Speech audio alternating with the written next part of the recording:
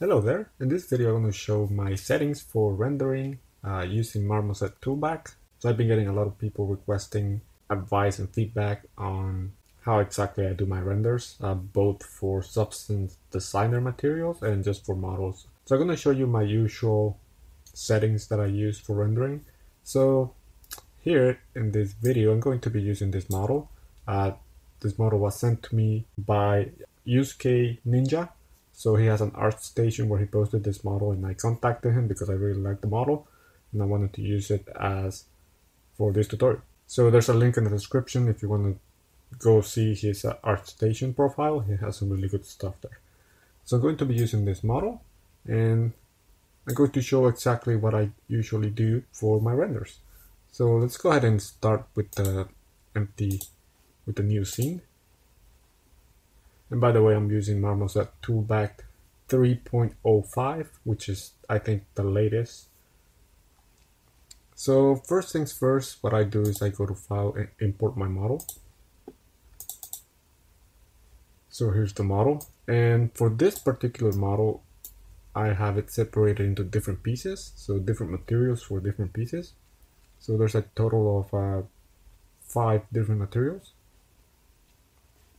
So the first thing you want to do in uh, Marmoset Toolbag, Toolbag is uh, create your materials. So what I'm going to do is I'm just going to delete the ones that came with uh, my importer. When I import, uh, Marmoset Toolbag also imports the materials that I made, that I assigned in Maya, but I don't need those. So what I like to use is usually I go here under various presets for materials and I like to use the Unreal 4 preset and double click on it. I'm just going to name this one uh, the head. And I'm going to apply it to the head. So to do that, you have to go here under your model. And if your model is in different pieces, just click on the piece. And then just drag the material over that. Or over the uh, head here. And that applies the material. So next, what I do is I import my texture. So first here is the normal map. And I always like to uh, get closer to make sure that the material actually imported correctly. And for normal maps, what I do is I do a flip Y because I'm exporting uh, using the um, although it's kind of hard to see with this material but yeah, I think I, I usually uh, click flip Y because I'm exporting from uh, Substance Painter for Unreal materials. Although I'm, go I'm gonna have to double check here because I'm using the Unreal preset material, so I may have to just uncheck that. But it's kind of hard to tell right now because we're not seeing any texture here. So next is the roughness map. And then the albedo, and then the metallic. And then if you have an ambient occlusion as part of this, what I do is under ambient occlusion, I add occlusion, and then click on that. I don't think I have one here. So in my case, I'm just going to set, set it to none. Okay, so we have that. And actually, I'm going to also change the diffusion from Lambertian to uh, microfiber. And there's a reason for that, but I'm going to show you the settings for that later. So once I have that material set up, uh, all I have to do is just duplicate it. So click here, duplicate it, and then rename that one. So this one's going to be my hair. I'm going to click on my hair here and then just drag that in. And then for that one, I have to change my materials, of course.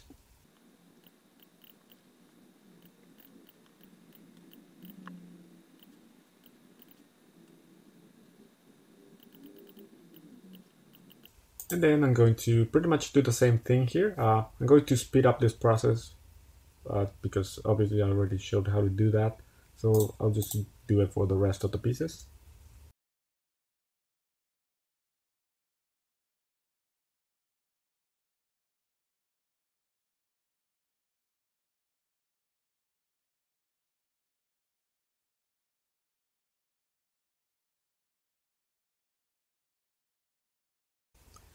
Okay, so now I have all my materials ready and set up. So let me get close here. Just want to make sure that my normal map is correct. But again, as I said, I think with this character, it's just a little bit hard to tell if I needed to flip my normals or not. I think I did. Let's see. Yeah, I needed to enable flip Y for my normal map. I'm just going to make sure that's set up for all the pieces. So, okay, so now we have our materials ready and they are applied to our model.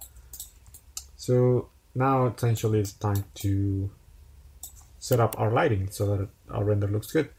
So what I do, first I typically I choose one of the sky uh, presets here.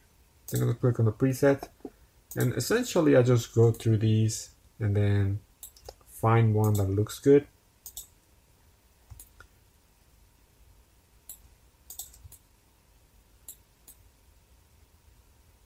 Also, well, while I'm doing this, also I want to change my uh, background. I don't want it to be uh, the actual environment, but I just want it to be a color.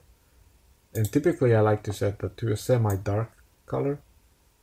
Obviously you can play with that. Um, I've seen pretty good renders with lighter colors as well, but I personally I prefer the darker and with a little bit of color as well.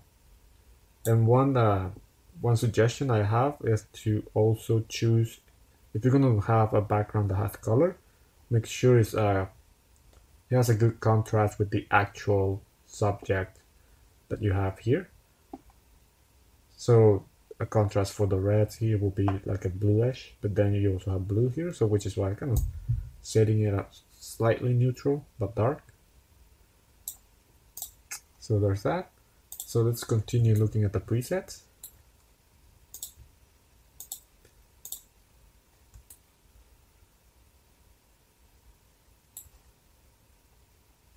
And the one that I actually liked a lot uh, when I was uh, testing was this one, I believe.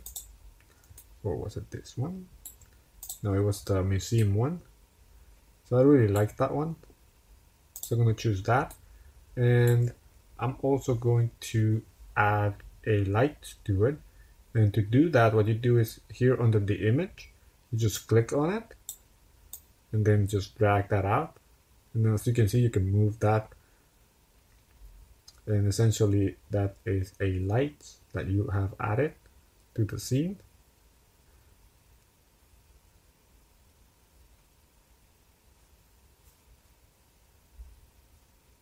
I'm going to rotate this a little bit just to see what I'm getting.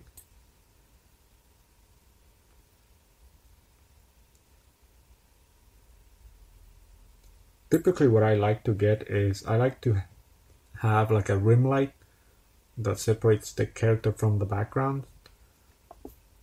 And I don't necessarily need it to be around the entire thing, but usually just from one side.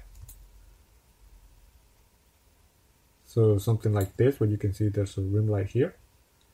But then obviously everything else looks dark. Um, so to compensate for that, sometimes what I do is I go here under settings, so click here on the uh, settings.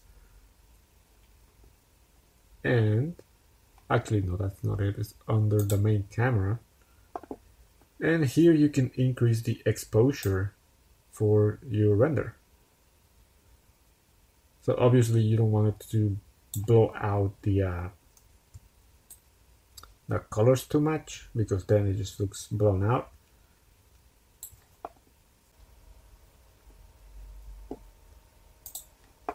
And I like to reduce the contrast center just slightly. And one thing that you can do also is give it a color as well. As you can see, it's slightly giving it just a little bit of color.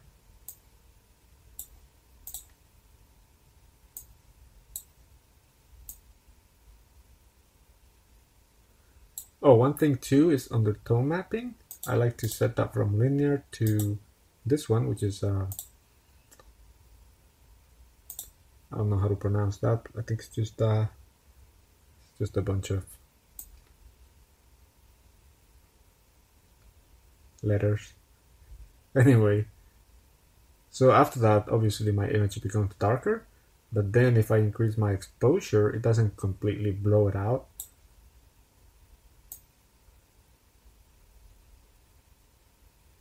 Maybe that looks good.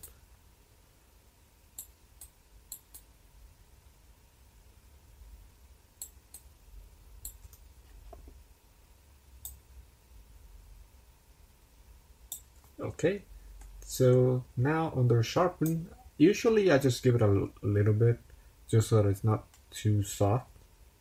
But obviously if you do it too much, it just, it just looks bad. So I just give it a tiny bit. And then bloom, uh, I set that just a little bit. Just give it a little bit of bloom. Obviously you don't want it to be like this, where it's just way too much. And also one thing is you can change the size of the bloom. It's gonna set that really low. Especially for this character, it's not really needed too much. Uh, vignette, I really like to increase that a lot and set the soft almost to the max. And I also like to change the color.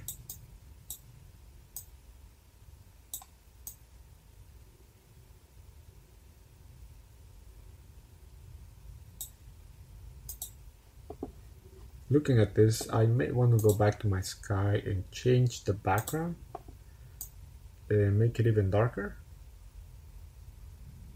And it might be uh, might be just a little bit too contrasty, but I think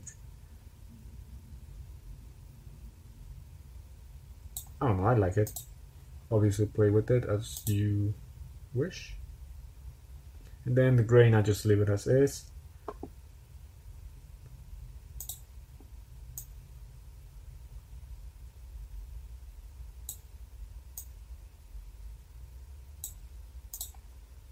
Okay, so uh, as you can see right now, there's like an outline on my character. So that is controlled by the, uh, remember when the, I made the material and then I set the uh, diffusion to microfiber. So essentially that gives us like a highlight around our character. And right now it was set to the max. So you, you could see the entire um, highlight for it usually what I like to do here is change the color to something that works better with the character. In this case, I think it's like a blue kind of color works good. And I don't necessarily like it all the way to the max just because it doesn't look that great.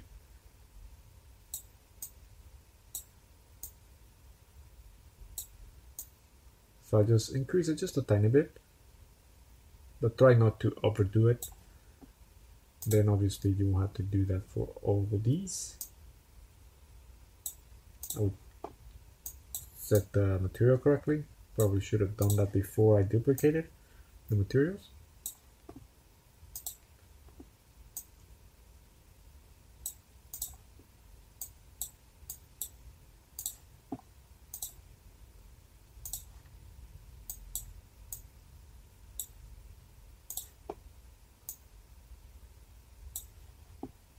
it's just a nice to um, it's nice because it gives the highlight to the character.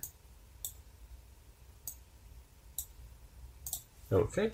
So I mean this is already looking pretty good as a render I think.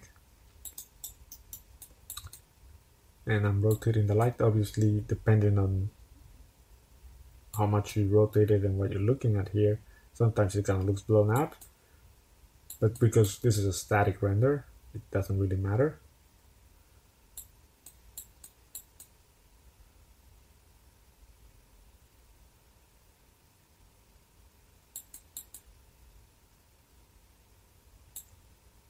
Let me go back to the sky.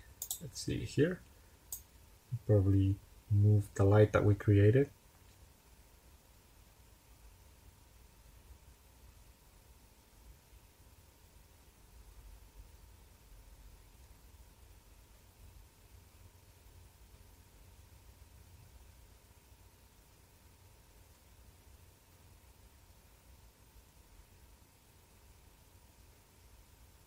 Or something like that let's create another one.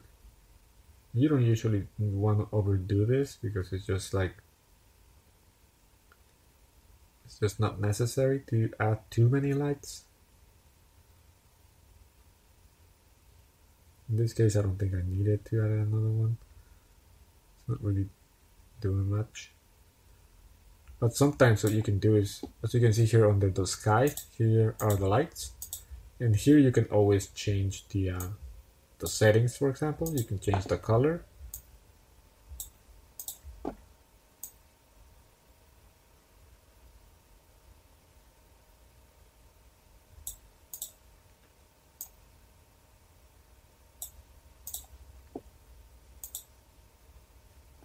So that's that. So essentially at this point, I would say we are ready to render. Um, so I think I like these posts right here. That looks good. And what we want to do when we're ready to render is go to render settings. And here, usually it's a good idea to enable a global illumination for both diffuse and spec. Um, but sometimes it really depends on the model. So in this case, this is what I get when I do that. Uh, we'll want to probably increase the the brightness of it a little bit. So there's that and there's this. You know, I guess it depends on if you think it looks good or not. In this case, I think it might not look that great. Although I would try to increase the occlusion to the max. And by the way, you want to do this when you're ready to render the final image or turntable, just because it usually like starts to slow down uh, marmoset.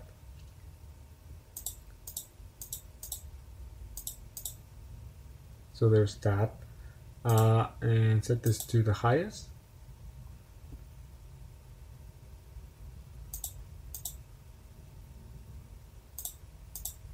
I usually just kind of look at what uh, these settings are, what these uh, things are doing. So I like that. Uh, so next we want to make sure the ambient occlusion is on. Actually, let me turn these guys off first. And then turn ambient occlusion first, just to see what that's doing. And I like to increase the intensity depending on what it is that you're rendering. I like to increase it quite a bit to like 3 or so. And here you can also change the size. So essentially how close uh, the ambient occlusion is to the contact spots, like here.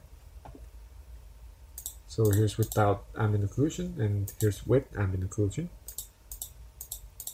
It's a lot better.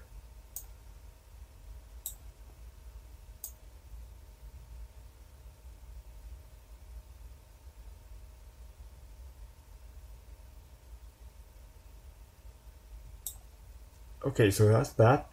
And as I said, uh, turn your GI. I don't know, in this case it almost looks better without it, in my opinion. I don't know what you guys think. And so I think that's pretty much it for settings. And then once you're ready, what you want to do to render it, you're going to go to edit and under preferences, you want to set your output location, so where your render goes. See might set correctly. Okay, and then click OK. And then under capture, you want to go to settings. And here, you can choose whatever format you want. Uh, you can also choose if you want it to be separated from the background. And I think the 1920 by 1080 is fine, but you can always, you know, increase the size. And you always want to increase the sampling to either 100 or 400. So that takes a long, longer to render, but uh, it gives you a nicer, cleaner render. So yeah, that's usually what I do. I set that to 400 when I'm really ready to uh, bake the final click OK and then once you're ready either click on image to render or image and open and that's going to render and show you the image that is rendered. So that's for rendering images. Uh, some people have been asking about my turntables because that's usually how I present my models in YouTube. Um, so how I do that is I select my character, go to scene, add object, and click on turntable. And that essentially puts your model inside a turntable, which you can then hit play and starts playing your turntable essentially. Also, you can change the speed here. So by default set to 1. But if you think it's too fast or too slow, you can always increase that. So typically, I don't um, render out my turntables for YouTube. And the reason for that is because usually it takes a long time to do that. Uh, but if you want to do that, I believe under video, but then under your capture settings, uh, the same place where you change the image settings, you want to change your render sampling to about 400 as well. And as I said before, that takes a while to render. So which is kind of why I usually don't render that because it just takes a long time in my computer. And you can also set the quality here and the video format as well. And then once you're done with that, you can click uh, video and that's going to bake your turntable. But I'm not going to do that right now because uh, it's going to take a while. So what I do personally for my YouTube is I press the space bar and go full screen mode while I'm playing the uh, the turntable and this is usually what I present in my YouTube videos just because it's a lot faster and I can just screen grab uh, what's happening here. Obviously the resolution is not that great so if this was uh, for a portfolio piece for example uh, you would want to actually render it out because that's going to give you uh, a way nicer resolution than this uh, because if you're just recording in the viewport as I do uh, this is the maximum quality that you get which is usually a little bit pixelated and stuff. But yeah that's usually what I do and uh, in my editing software I kind of sometimes I block uh, this uh, part here because I don't think you can hide uh, these parts of the UI so that's what I do so yeah, that's pretty much, I think I covered everything I usually do for my renders. Uh, so yeah, I think this looks pretty good. And I do the same thing for my Substance Designer. I So what I do is essentially, and what I recommend doing is, once you have a render that looks pretty good and you have all your settings set correctly the way you like them, uh, just save your thing as a template somewhere. Then just name a template. And every time you want to render something new, all you have to do is import a new model and apply a new material. Actually, you could just use one of the existing materials and use that as your rendering template.